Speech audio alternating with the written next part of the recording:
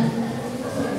A Szent István Katolikus Általános Iskola harmadik és negyedik osztályos tanulói és a Kazinci Ferenc Református Általános Iskola negyedik osztályos diákjai vettek részt a pályázatban, így összesen 60 illusztrációból nyílt kiállítás a Bárcai kastélyban. A választókerületemben több egyesület is pályázott és, és nyert a roma kultúra terjesztéséért.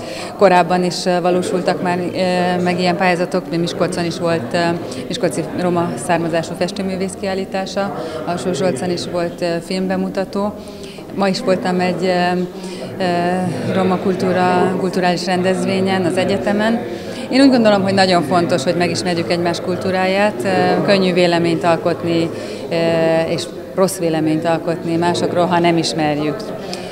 De ez mindenféleképpen hozzájárul ahhoz, hogy szorosabbá fűzzük a kapcsolatot, és eh, én örülök, hogy a gyerekeknek az alkotásaiból ennyi sok, vagy rajzaiból ennyi sok eh, kézzelfogható alkotás eh, született, és egy ilyen gyönyörű kis kiadvány, amit mindenhol meg tudunk mutatni. Azt hiszem, hogy biztosan mondhatom, hogy szinte az országban mindannyian hiszünk abban, hogy az oktatással lehet a roma származású gyerekeket a hátrányos helyzetből kimozdítani, és harmonikusan integrálni a társadalomba.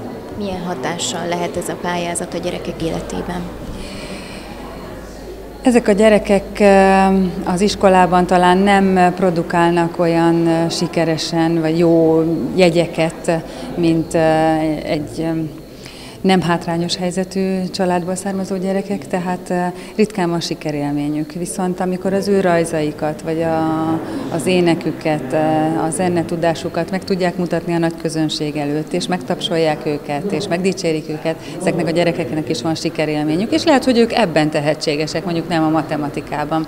Tehát ezeket mindig kutatni kell. Bízom benne, hogy a, a tehetséget meg is találjuk, és tudjuk ápolni és a jövőben ez hozza meg majd a gyümölcsöt. A diákok a roma folklórról, kultúráról és költészetről hallott előadás után kezdték el a munkát. A gyerekeknek volt roma kultúrát ismertető előadás, és akkor kiválasztottak egy mesét, aki minden, ami mindenkinek tetszett, a négy cigány legény mesterségének a haszna. Ez egy nagyon tanulságos kis mese, arról szól, hogy négy fiúcskának hogy küldi el az édesapjuk szakmát tanulni, és a szakmájukból hogy, hogy fognak előre haladni, és az összefogásból mit is tudnak elérni együtt, közösen, és ez a pályázat is arról szól, hogy együtt, közösen miket tudunk elérni. Főként, főként népmesei motivumokat, cigány népmesei motivumokat jelenítettek meg, illetve egy-két vershez kapcsolódóan történt a, a maga a pályázat.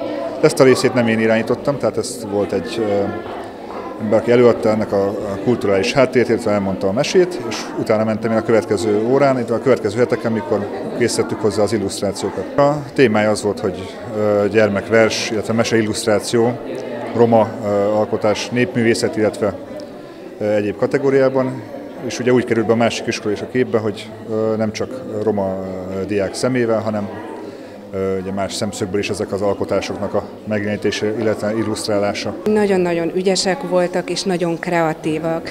Olyan érdekes meglátások születtek, ami számomra az első elolvasásra a mese nem is adta vissza, és mégis ott van, és a gyereknek lejött, és annyira érdekes, hogy egy gyerek mennyivel másabb szemmel nézi a dolgokat, mint mi. Szerintem érdemes végignézni, látszik, hogy nagyon sokrétű, mind technikailag, mind a felfogásból nagyon sokfajta alkotás született, úgyhogy szerintem sikeres volt ez a pályázat.